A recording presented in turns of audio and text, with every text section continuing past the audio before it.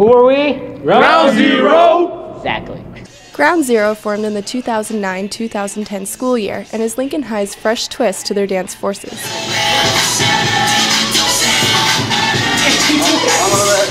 As an all male breakdance team, they went active last fall. Eventually, I thought of the name Ground Zero because I thought it was like, it was pretty influential. It, like, it sounded pretty big. Actually, when I Google, I was like ground zero, like the definition of ground zero, and it was like explosive, like you know, like like infuriated. So I was like, actually, that's pretty tight because when we're on the dance floor, that's what we do. The 11 members were recruited by Musa or Donna Anderson, their sponsor, because they showed talent and passion for dancing.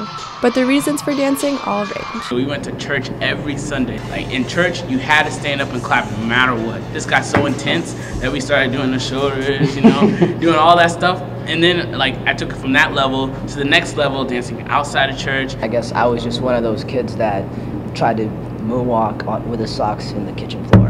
That's that's how I started out, basically. I had three idols: Michael Jackson, Usher, and my older brother.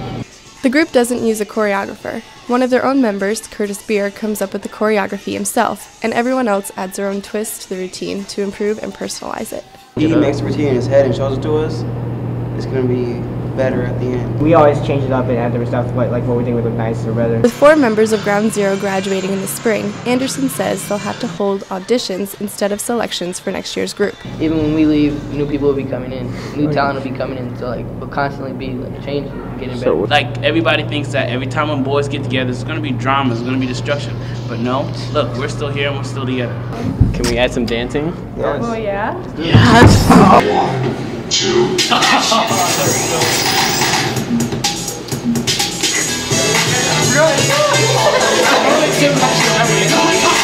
This is Chelsea Coley reporting for Newsnet Nebraska.